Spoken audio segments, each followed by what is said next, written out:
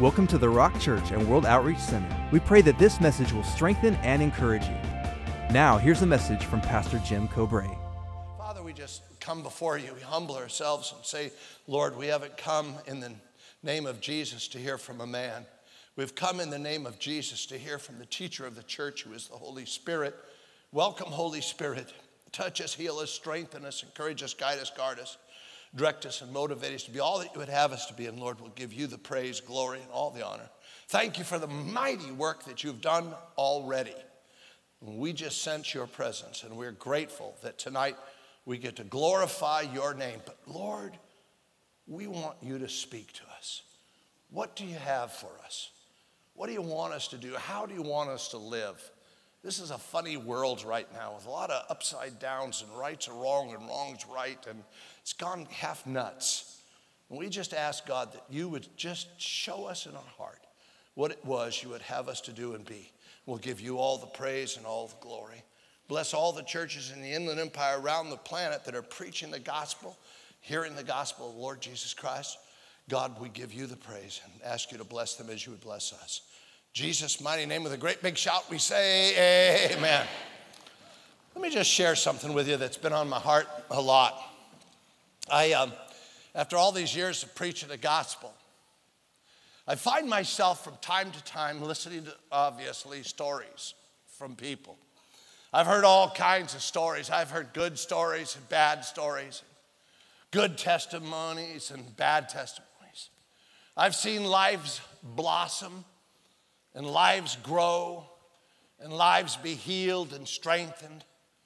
I've seen wonderful things and people prosper, families prosper, children's prospering, uh, ministries prospering, their businesses prospering.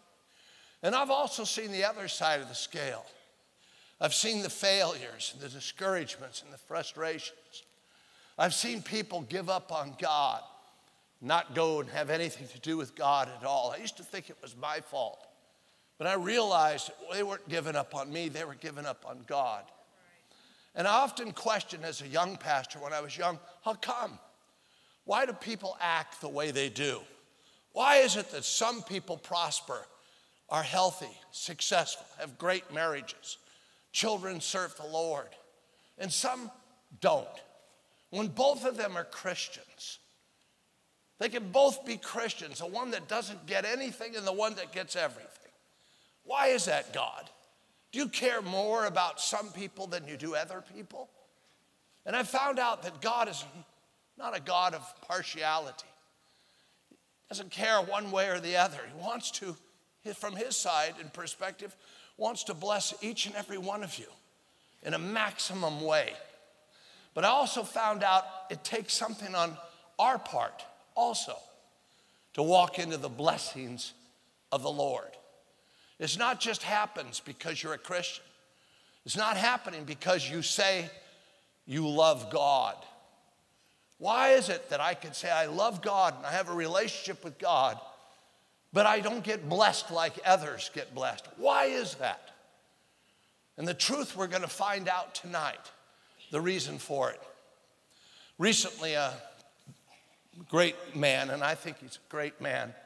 The Pope was in our country. And don't misunderstand me, I think he's a great man.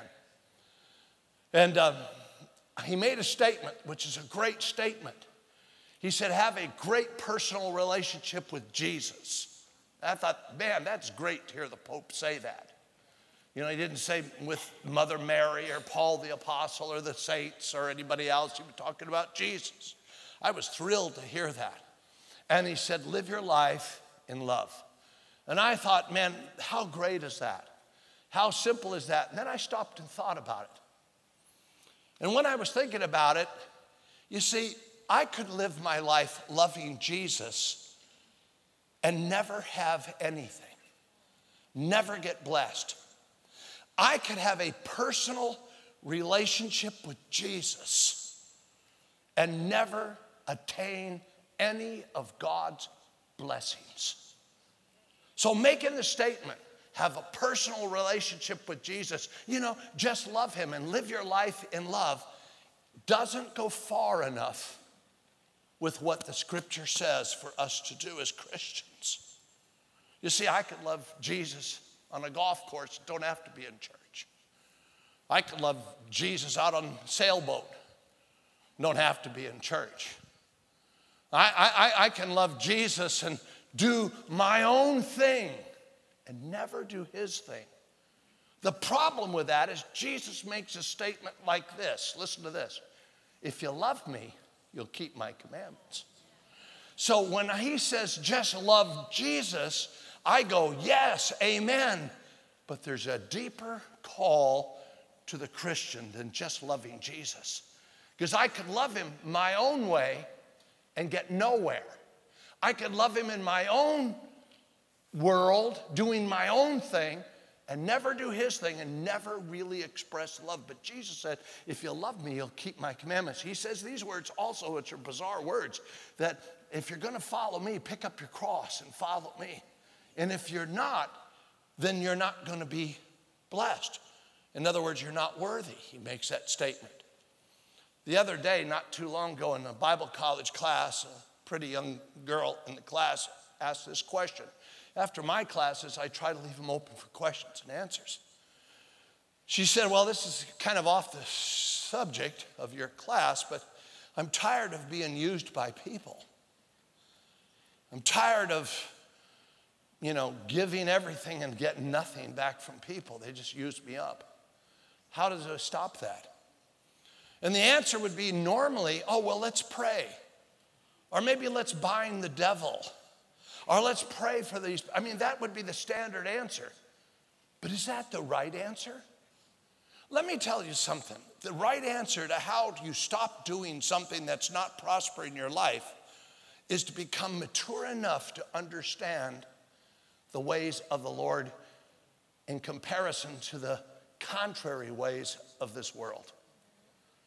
And so, I, what I'm saying to you is simply this is that there's a road that God wants each one of us to follow in order to get blessed.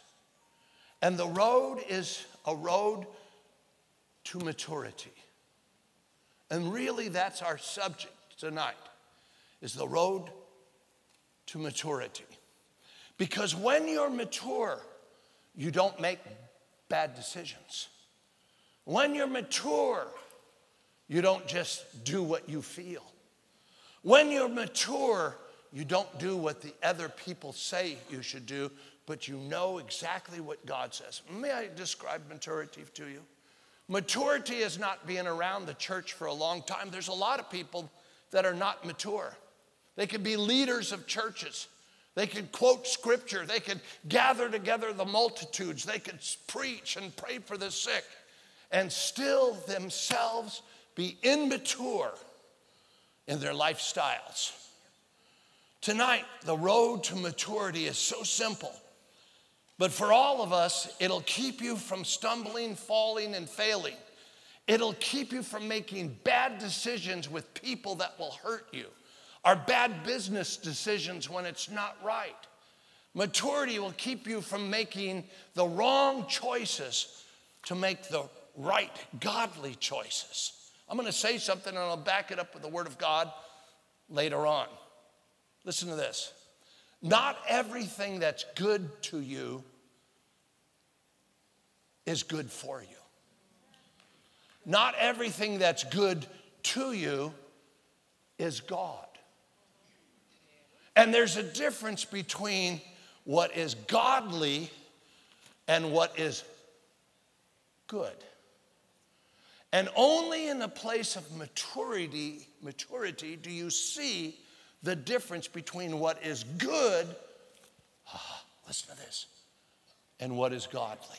Yeah. And it's in those places that you make the right choices. Choose, has anybody ever married the wrong person? You know what? I don't raise your hand in case the person's next to you. But you know what I'm talking about if you've gone through divorce you know, and, and, you thought, oh my goodness, it was God. Have you ever said, oh, I God love God with all my heart, but I, I know this is a, a God thing, and I, I started a business and it failed. And it wasn't a God thing at all. And, and you let somebody into your life that you shouldn't have let into your life Only through maturity will you discern the difference between the, what's good and what is God.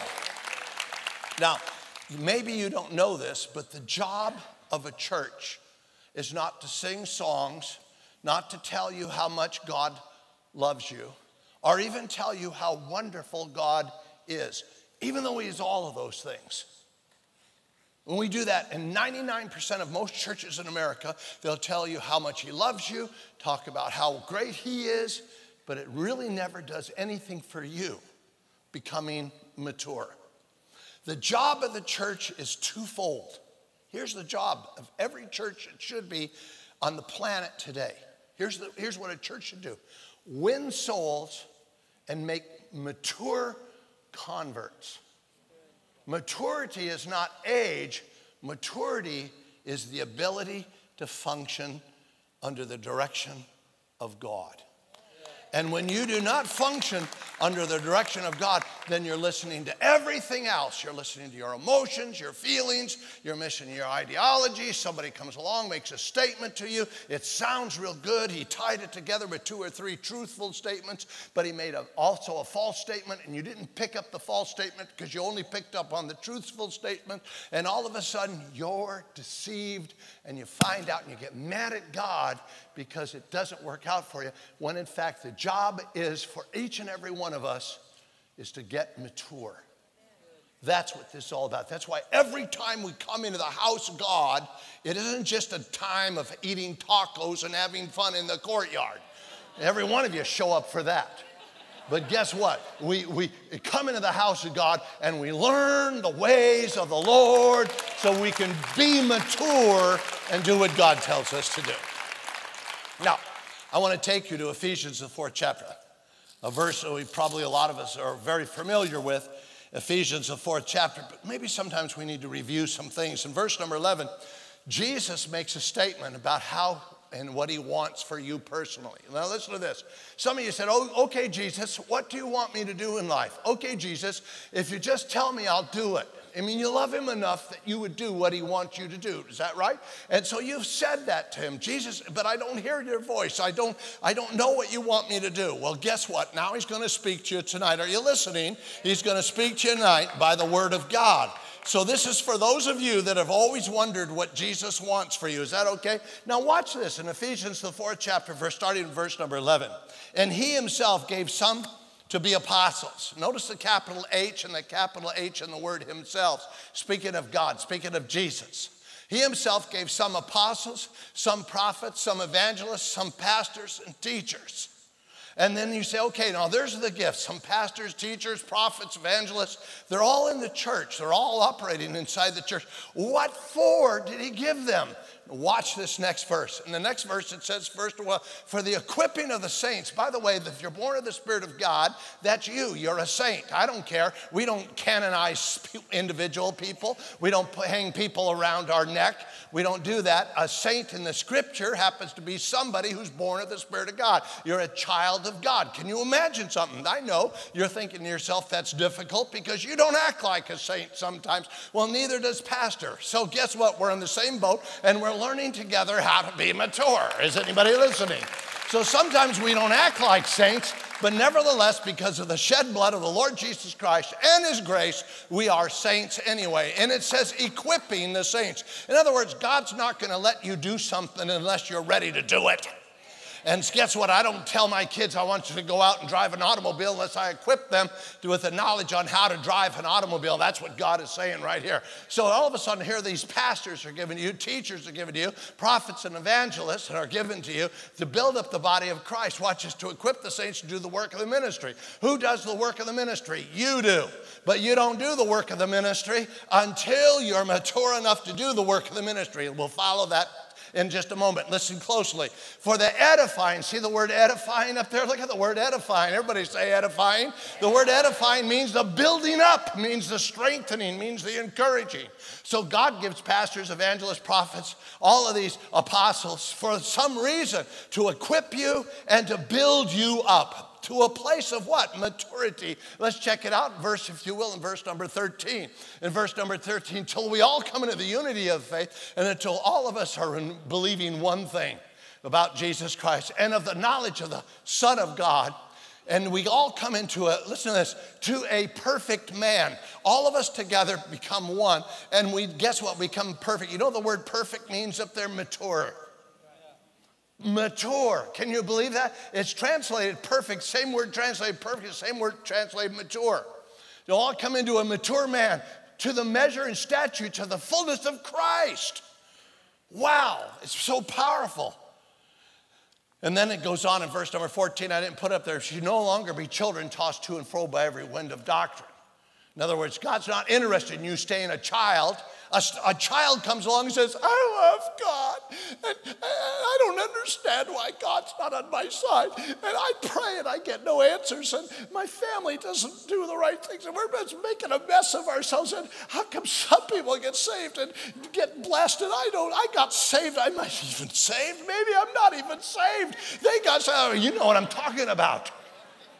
And the whole reason is all of this until you come into the edification, until you come into a place of maturity. So you should be going to a church that's going to teach you how to become mature and do the work of God.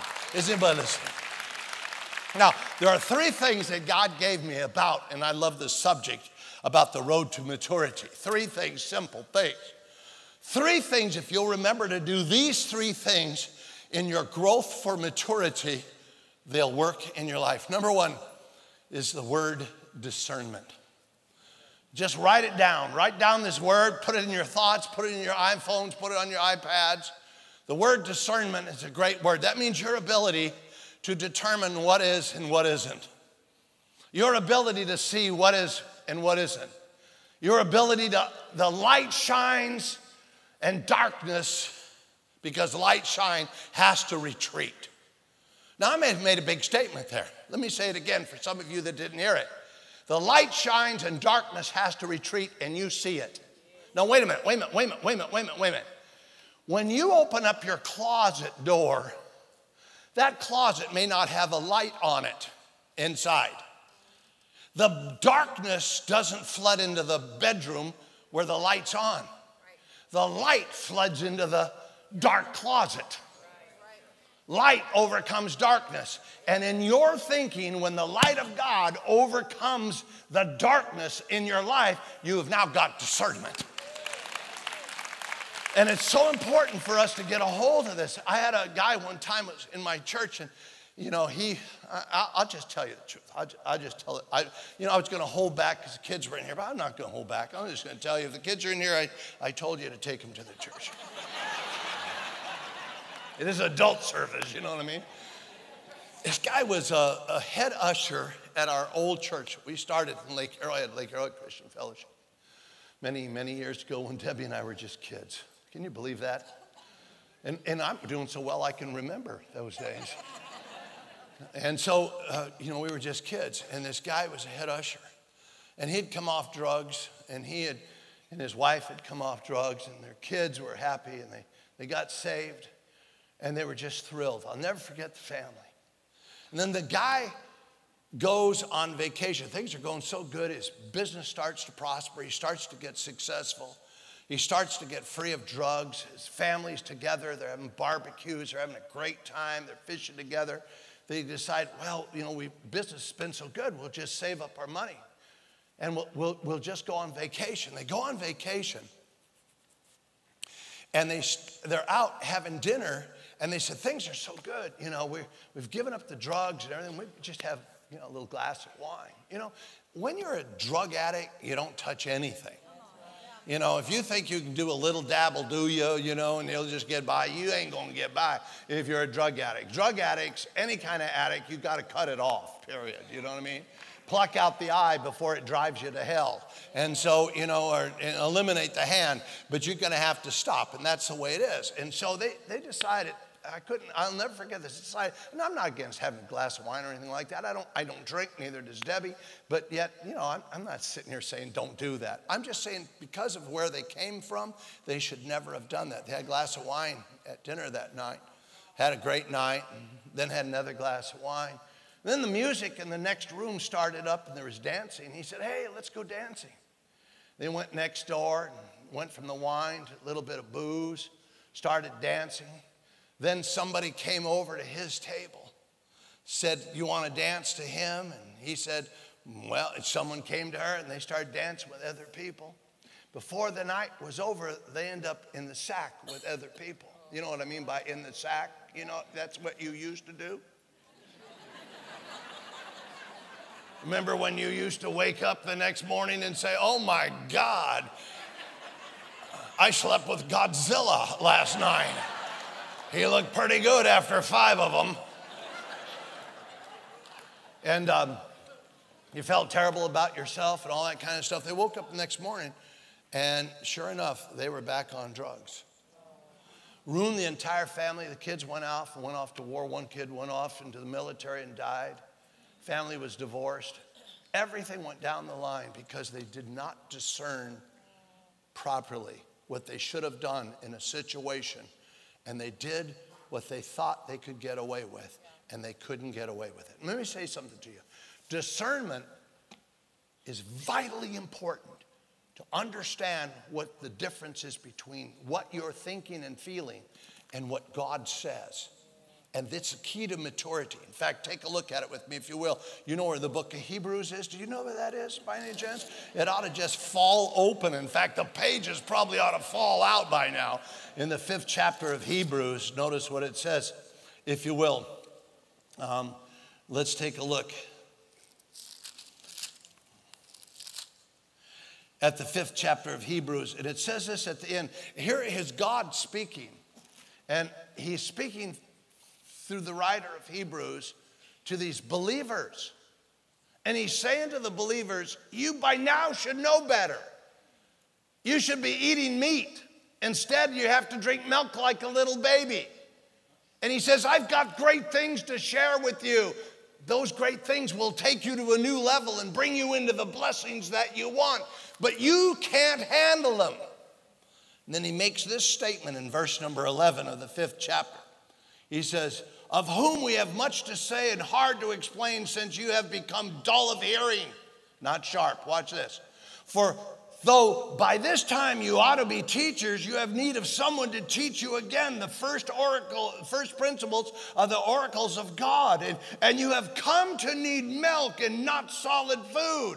Verse 13, for everyone who partakes only of milk is unskillful in the word of righteousness. Anybody who's a baby is unskillful in the word of righteousness. Anybody that's a child is unskillful in the word of righteousness. Anybody that's a baby is unskillful in the words of righteousness. Anybody that's a baby is unskillful in the words of righteousness. Anybody that's a baby is unskillful in the words of righteousness. In other words, you got to get this. In order for you to not be a baby, you got to be skillful in the Word of God. And then he goes on and he makes this statement, but watch this statement that he makes. Fifth chapter again, uh, listen to closely. He says, Unskillful in the word of righteousness, for he is a babe. Verse 14. But solid food belongs to those who are of full age. Full age means mature. In other words, God has something he wants to do with you. God has something He wants to share with you. God wants to take you further than you ever thought of in your life. But until you're mature enough to handle it, you'll never get there. You will make bad decisions and bad choices, and you always need to have the milk and never the good because you haven't become skillful using the Word of God in a situation that you know is coming up. When I found out the lights went out, I mean, come on, give me a break. 10 minutes before the church service starts. How obvious is that? You know? I just, I mean, I did perspire a little bit because I was the guy that put the solar system on the roof, and someone said, Oh, it blew up and caught the building on fire. That's a report I got. I went, Oh my goodness. And then I'm saying to myself, God, all things work together for the good of them that love the Lord and are called according to his purpose. I have to tell you, God, did I burn down your church? Oh my goodness, God. But yes, all things work together for the good of them, love the Lord, call all things work together. I kept my mind. I'm using the word of righteousness against something that's contrary to what I believe is right. Now, watch this. Watch this. It's so much fun. Watch this. It gets better. Watch this. He says, uh, verse 13, for everyone who is a partaker only of milk is unskillful in the word of righteousness, for he's a babe. His solid food belongs to those who are full age. Is those who, by reason of use, speaking of the word of righteousness, have their senses exercised to discern both good and evil. So when the lights went out 10 minutes before the church service, immediately I said, Devil, I won't tell you what I said. Someone says, I, I, saw a t shirt the other day that says, I love Jesus. I cuss every now and then. you know, I, so I, I, I, I told him off. He un, I don't want to say it to you, but he understood what I was talking about. I was speaking his language. Does anybody know what I'm talking about? You know, he made up those words, he got them right back. And I immediately discerned that it was not of God and the skillfulness, the righteousness of God is very important for us to be righteous. Listen, if you want something, you want that husband to come along, you want to find the right man or the right, right woman, if you want your children to grow, isn't it important that you do something about this?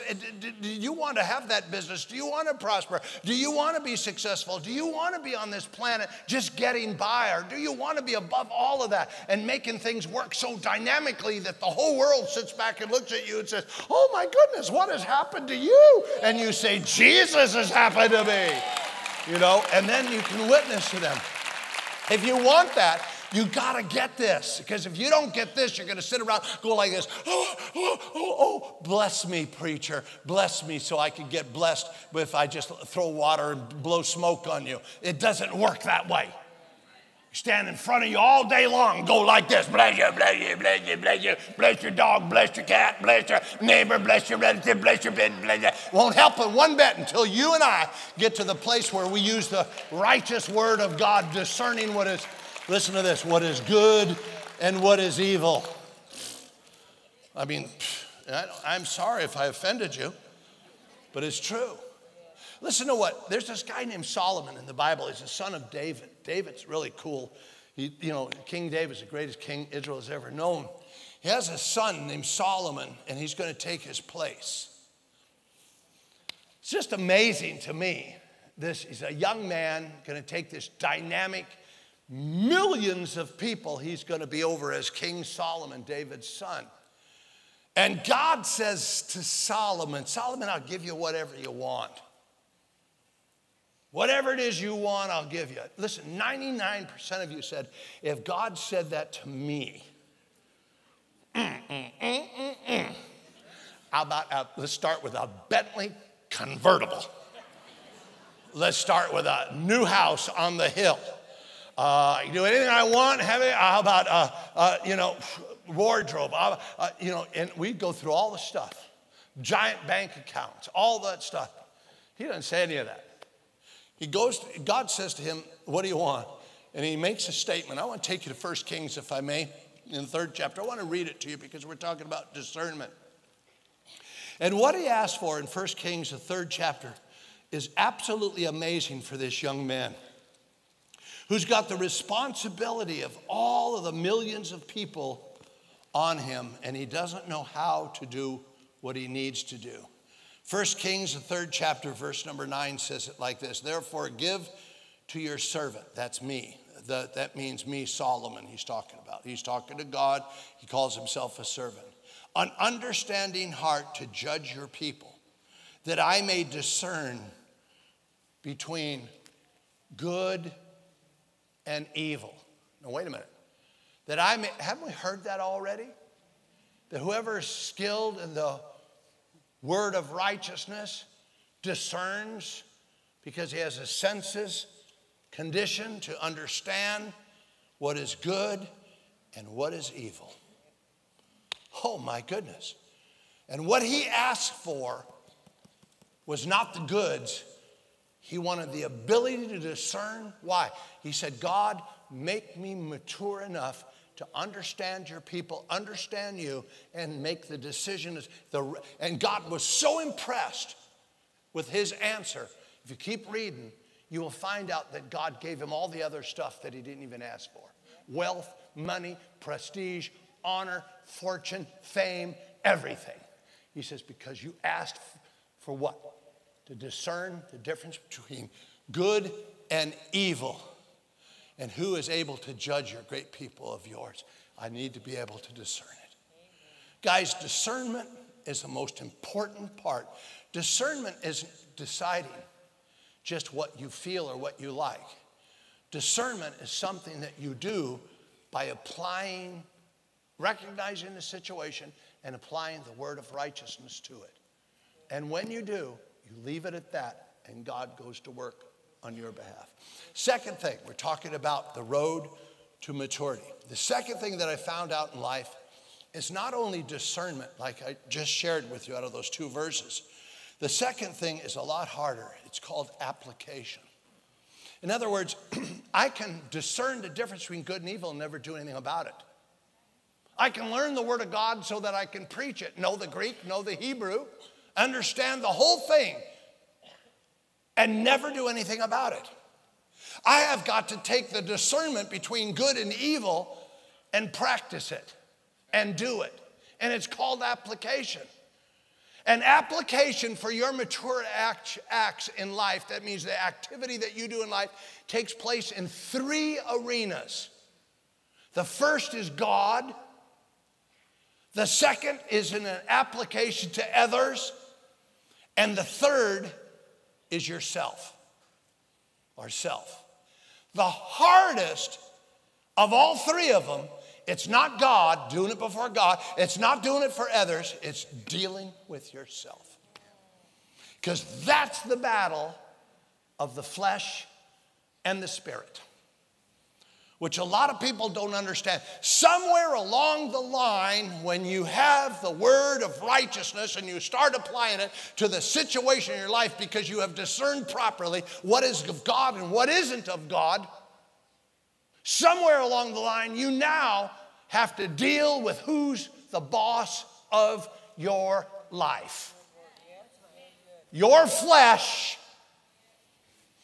or the spirit. Sometimes when the spirit ministers to you, it's crazy. It does not make sense. The devil said, You just burned the church down. You blew up the whole building and it's going to, people are going to go on the roof now and get electrocuted. I said, My God, it's dark out. They're not even working right now. That's what I dealt with. And God spoke to me and said, Laugh. That was the foolish thing to do. I started laughing. Before I picked Dan up and brought him, I was laughing. Devil, you are such a dumb liar. God's in control of this whole thing. Now, wait a minute. In a situation where you just thought you burned the church down right before you're going to preach, couldn't get any worse, right? Eh, eh, eh, I'm, he says to laugh. Now, I want to share something with you. Go with me to 1 Corinthians. In fact, let's just pop it up on the overhead, the second chapter. In 1 Corinthians, the second chapter, and I want to read this to you because out of the Word of God, it makes a statement in verse 14 about you. It says this But the natural man, that's your flesh, that's your carnal, that's your thinking, that's your feelings, that's your attitude towards life, that's who you are, the natural physical man. The natural man does not receive the things of the Spirit for they are foolish to him. Man, don't you think when God said start laughing, it was foolish to me? Totally contrary. So many of you are in situations and you end up crying instead of laughing. If your God is really in control, if he's not, then you better start crying. But if he really is in control, it's a laugh. Okay, I screwed up. Okay, I made a mistake. Okay, I did wrong, but I have good news for you. God picks up the pieces. He loves me. He'll lift me back up. And when I fall, I'll even fall forward.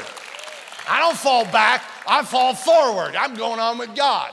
I learned that lesson, but my natural man doesn't receive the things of the Spirit of God, for they are foolish to him, nor can they know them because they are spiritually, what's that word? They are spiritually what? I didn't hear you at all. Are we in church together or not? Let's try this side over here. They are spiritually what? Oh my goodness. Back to point number one spiritually discern. When you spiritually discern the situation that you're in and you deal with that situation with the righteousness of God's word, you win. Period. Now, look at this. Here's the fun part about that.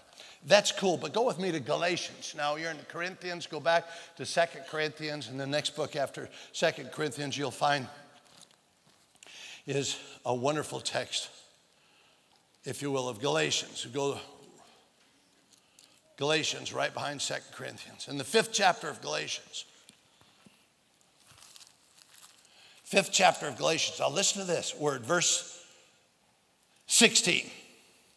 I say then, walk in the Spirit, and you shall not fulfill the lust of the flesh. Has the flesh ever told you it's good? And you thought it was God because it was good?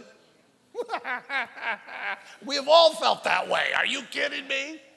If it's good and it feels good, it must be God. Not true. You need to know that. He says, Walk in the Spirit and you'll not fulfill the lusts of the flesh. Verse 17 comes along, makes this statement For the flesh lusts against the spirit, and the spirit against the flesh. And these are contrary to one another, so that you cannot do the things that you wish to do. So if you're wanting to do something, all of a sudden there's a conflict, and the conflict is not with God, conflict's not with others. Usually the conflict is in you.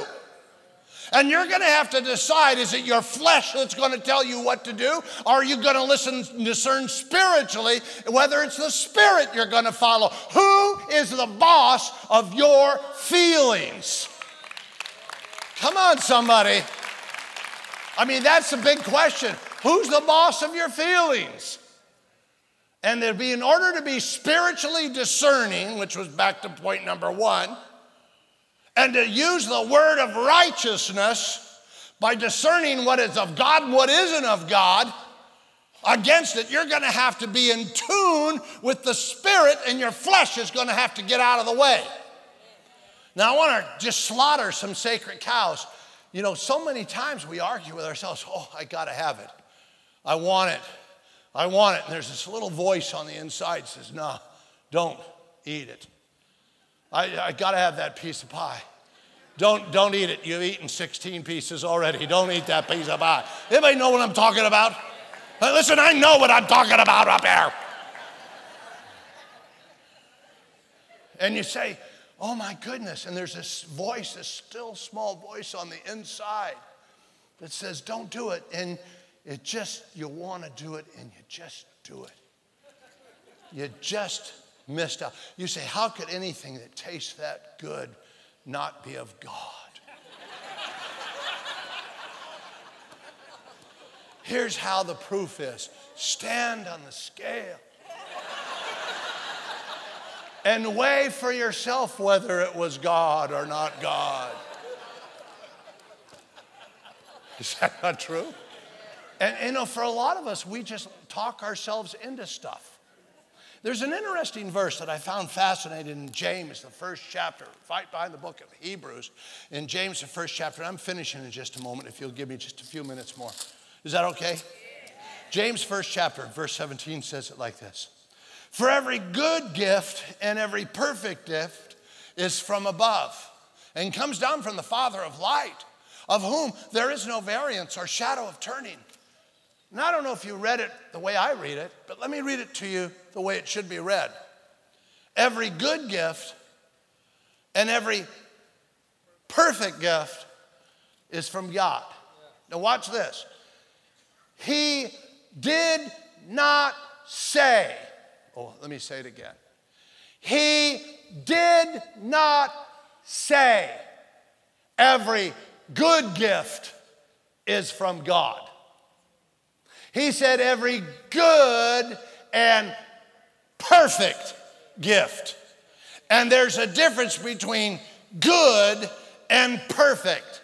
And there's a difference between good and God. And God's not ever looking for good, He's always looking for godly. And when you take the good, listen to this, and you add the godly to it, now you got the perfect gift. And a lot of times we stop at the good because it feels good. It's what we want, it's what we desire, it's what we think we need to have in order to be successful. When in fact, we stop looking for the perfect, which is the godly. Is anybody listening? So we're talking about application. The application here is you're going to have to decide who's boss of your flesh and who's the spirit, because the spirit and the flesh aren't going to work together. In order for you to discern, you're going to have to discern by hearing from God, the Spirit. And oftentimes, what you hear from God is contrary to what you feel. And therefore, you just act on what you feel, and you wonder why you don't get anything. Because if God blesses you, if you just act on what you feel, then He would, you would always stay in a feeling mode instead of a spiritual mode. And you'd fail. Third thing God says about the road to maturity. First one, do you remember what it was? Discernment. Second one is what? Application. Application means you got to do it not only to God, not only to others, but you got to carry out what you discern in yourself and deal with that flesh. That flesh doesn't rule you. Who's the boss of your flesh? Third one is this, and I love this the road to maturity is ministry.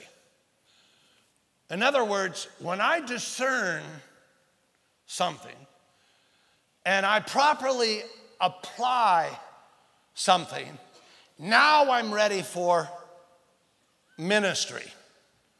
If I discern something, don't properly apply something, I'm not mature enough for ministry. That's why you're all caught up with people who preach, people who can quote the scripture, debate the scripture, sing songs, do all that stuff. You follow them all around the world, and they don't have the discerning power to minister because they haven't applied it yet to their own life. And if you can't do it, then get out of the kitchen until you can. And that's what a lot of times we, we miss is that before ministry. So, does God want you to minister? Of course. He wants your life to shine. But your life can't shine until you learn how to take the road to maturity. And it takes time learning what God says because it's usually contrary to what you feel, contrary to what you think, contrary to what your parents told you, contrary to what politicians tell you. It's usually contrary to what the world says, contrary to what the Supreme Court decides. It's contrary, it's foolish, and we don't discern it properly. We never apply it properly, but always ready to minister. Ministry comes when you're mature enough that you can give it out to God, to others, and yourself. Now you become the witness God wants you to be. In Matthew, the fifth chapter, go there with me quickly. We'll close with this. Matthew, the fifth chapter, we're talking about a road to maturity. Three simple steps discernment, application, and ministry. Matthew, the fifth chapter, it says these words, the words of Jesus You are the salt of the earth. But if the salt loses its flavor, how does the salt lose its flavor? All of a sudden, the salt didn't have discernment in what was right of God and what wasn't of God. It became impotent in its ability to be the salt. Loses its flavor. How shall it be seasoned? It is then good for nothing but to be thrown out and trampled under the feet of men because it's lost what it had by doing what the flesh says instead of what the spirit says. Verse 14 You are the light of the world, a city that is set on a hill that cannot be hidden. Does Jesus want us to shine the light? Come on. Verse 15, watch this nor do they light do they light a lamp and put it under the basket but on the lampstand, and it gives light to all who are in the house. Verse 16 Let your light so shine before men. Watch this, that they may see your discernment of what is good and bad, good works, and glorify your Father in heaven. If you want to be the witness, then work at being mature, and your life will witness with just who you are. And the world will come knocking at your door trying to find out who you are. Three things tonight discernment, you got to work on it. It's different than what you think because then it comes application, dealing with your flesh about the yeses and nos of life, what's right, what's wrong, using the word of righteousness and is skilled at it. And then, thirdly, get out and let your light shine so that people will know that God is on you. And God will do a great and mighty thing. Come on, if the Lord spoke to you tonight and you receive it, give the Lord a great big praise. Will you do that? Hallelujah. Give you one more opportunity before you leave. You've been running from God instead of to God. And, you know, here it is bottom line you haven't yet given God all of your heart and all of your life. You just haven't. You know who He is in your head. You even love Him in your head. You celebrate Christmas, Easter. If somebody asked you if you were a Christian, you'd say yes. None of that makes you a Christian, by the way. None of that makes you a Christian because it's about the heart. It's about believing and these two words are massive words which every church I've ever known skips unto righteousness. It's not just believing, it's not just head knowledge, it's not just celebrating Easter and Christmas. And Jesus is not a thief to rob your heart and your life. You know, if Jesus wants it, he'll take it. No, no. You have to make the free will choice to give it to him, all of your heart and all of your life. And that's what's described as born again in the Bible. Because he says in the book of Revelation, he's coming again and you know he is. And he says, When I come, I better find you hot or I better find you cold. Because if I find you lukewarm, I'll vomit you from my mouth. It means you're not going to make it. You're going to get vomited. What's lukewarm? Little in, little out, little up, little down. Token prayer, occasional church attendance. I love this analogy of lukewarm. You're not against God, but you're not wholehearted for God. That's the bottom line. You're not against God, but you're not wholehearted for God, you know? That's lukewarm. And according to the Bible, the words of Jesus, He's gonna spit you out, man. You're gonna become a loogie.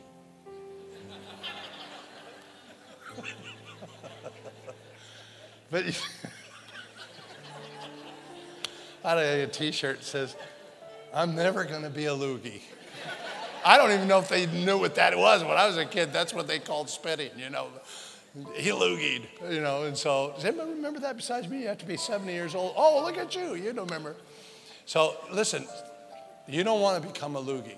You want to give your. you want to give your heart life to Jesus. I never laughed when he given an altar call before. It's pretty serious. But you must be, have a character personality that he's trying to draw up here. Tonight, you got to get out of your seat and you got to come. And we'll pray with you. You need to stop messing around with God.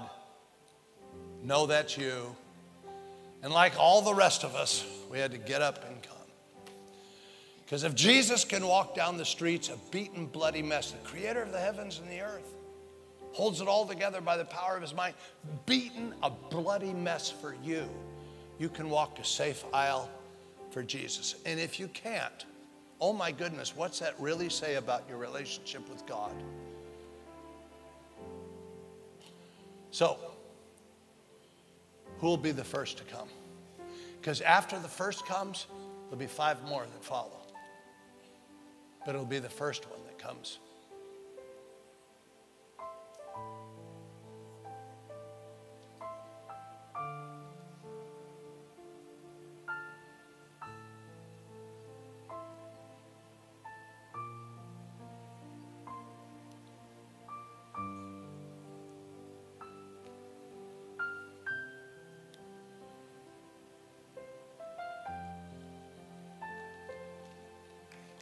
No, no, no, no, no clapping.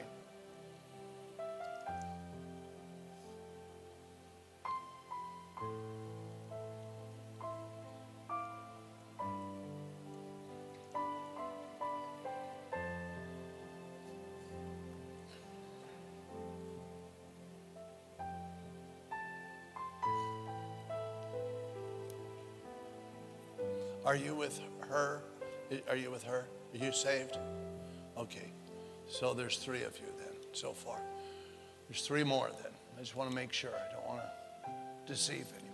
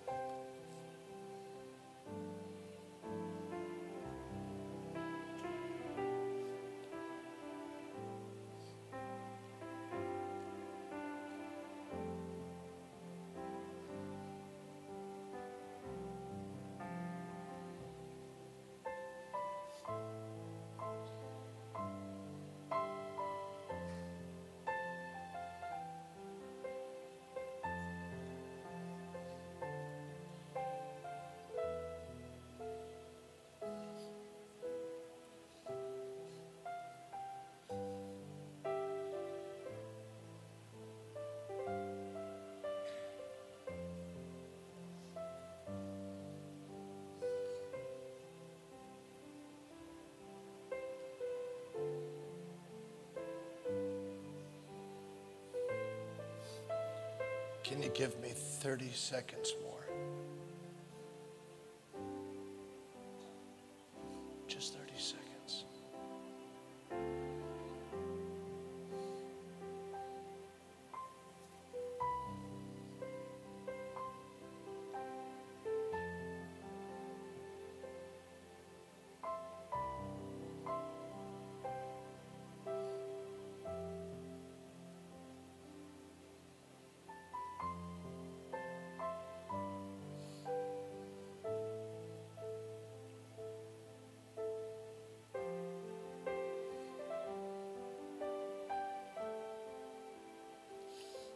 Done my job.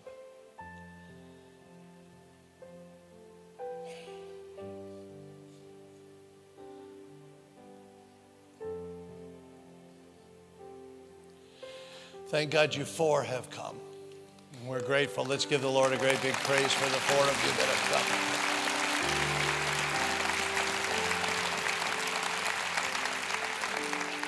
I want you to see this guy waving at you. His name is Pastor Joel. He's going to pray with you and give you some free stuff and let you go right back to your families. They'll wait for you. And anybody, those other two that need to come, just come and follow them. If you didn't want to come, just come.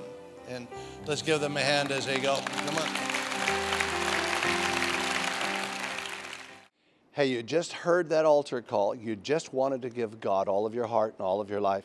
Now, let me lead you simply in a prayer of inviting Jesus Christ into your heart as your Lord and Savior. In fact, why don't you just go ahead and listen to me? And go ahead and close your eyes and just repeat these words after me. I'll go slow, you repeat them. Say these words Say, Father God, I come to you in the name of Jesus. I believe that Jesus Christ is your only begotten Son and that you sent him for me and that he died for me on that cross at Calvary. I believe that his blood washes away my sins, that I am now a new creature in Christ Jesus. And I thank you, Lord. I receive you now and forever as my Lord and as my Savior. I'm going to turn from sin and I'm going to turn with all of my heart and all of my life to you, Jesus, as my Lord and as my Savior. Let it be known in heaven as well as upon the earth that I am born again. I'm a child of God, that I'm saved, and I'm headed for heaven and denying my presence in hell. Thank you, Jesus. I'm alive forevermore. Love you so much. God bless you guys. Everybody just say amen and receive Christ as your Lord and Savior. So, talk to you later. God bless you. Thank you for listening to the Rock Church and World Outreach Center. If this message spoke to you, please share it with us. We'd love to hear from you. You can find more information at www.rockchurch.com.